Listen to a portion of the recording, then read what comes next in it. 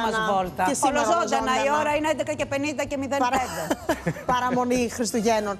Θα δούμε με ένα πάρα πολύ ωραίο θέμα που έχει διάφορα περίεργα έθιμα χριστουγεννιάτικα σε χώρες. Για παράδειγμα, κάποιοι τηγανίζουν κάμπιες. Κάμπιες; Βεβαίως.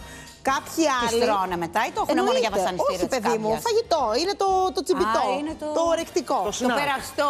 Κάποιοι άλλοι έχουν ε, κάτι συγκεκριμένο που κάνουν με τα παπούτσια για να παντρευτούν ε, την χρονιά που έρχεται. Πολύ περίεργα πράγματα. Τα έχουμε συγκεντρώσει και θα δούμε τώρα όλοι μαζί.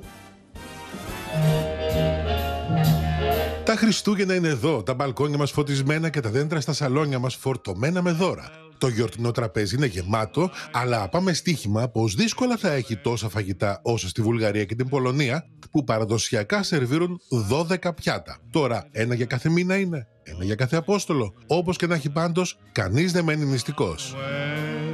Υπάρχουν βέβαια και άλλες διατροφικές προτιμήσεις που νομίζω πως εύκολα θα έβρισκαν τη θέση τους στο I'm a celebrity, get me out of here. Ο λόγος για την Νότια Αφρική που στο χριστουγεννιάτικο τραπέζι τιμούν τις τηγανισμένες κάμπιες που να ξέρετε πως είναι πολύ θρεπτικές και με μεγάλη περιεκτικότητα σε πρωτεΐνη. Στη Βαρκελόνη, όπως και σε όλη την Καταλωνία, έχουν το έθιμο του Κάγια Τίο. Πρόκειται για ένα κομμάτι ξύλου που για δύο εβδομάδες πριν τα Χριστούγεννα το γεμίζουν καθημερινά με φρούτα, ξηρούς καρπούς και γλυκά, ενώ το σκεπάζουν και με μια κουβερτούλα για να μην κρυώσει. Τη μέρα των Χριστουγέννων το χτυπάνε ευγενικά με ένα ραβδί για να βγει ό,τι έχει μέσα του. Στην Νορβηγία κρύβουν τις κούπες για να μην τις βρουν οι κακές οι μάγισσες και πετάξουν μακριά, αφήνοντας πίσω τους την κακή τύχη.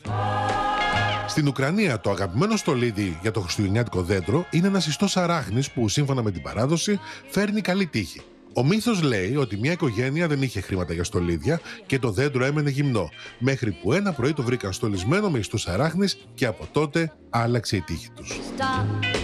Στην Αυστραλία μπορεί να έχουν καλοκαίρι, ζέστη και να κάνουν μπάνιο, αλλά αυτό καθόλου δεν τους εμποδίζει να στολίσουν δέντρο στην παραλία και ασκοντράρει οπτικά με το μπικίνι.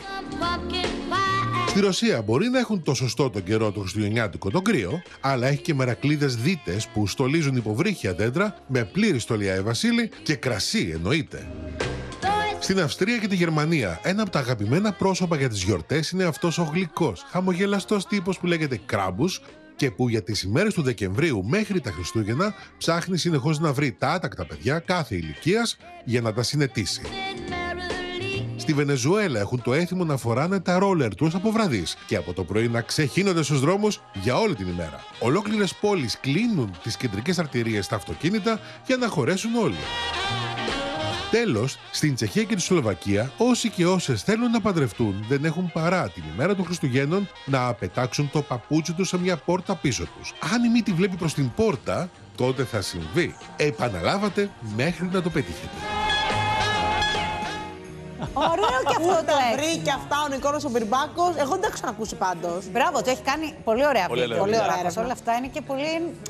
Σε πάνε ταξίδι, Ναι. ρε παιδί μου, θέλεις να τα δεις. Είναι σαν να βλέπω την Κατερίνα καινούργιο να πετάει το παπούτσι πίσω για να έρθει Αμάν. στην πόρτα. Ναι, για να αλλά το η βρει. γόβα και η μπότα υψηλή, πώς θα σταθεί στην, πόρο, Ε, στην δεν θα πόρτα. πετάξει. ώστε- Ένα το πέτα το ζούμι. αθλητικό. Ναι. Θέλει παντόφλα αυτό. Πέτα το αθλητικό. Πάντως, ναι. πώς μπορεί να είναι τα Χριστούγεννα στην Αυστραλία; Θα ήθελα μία φορά να Τέλεια. το ζήσω. Στην Να είσαι Αυστραλία, εκεί με το καλοκαίρι. μαγιό σου, να το ζήσεις. Ε, γιατί τώρα Πολύ έξω διαφορετικό. Παρόμοιο Πάντως, καιρό έχει, δεν ξέρεις- είμαστε πολύ Ναι, μακριά. ισχύει Έλατε, σήμερα. Έχει ήλιο. Σκεφτόμουν τη δύναμη του χριστιανισμού που όλος ο πλανήτης Ναι.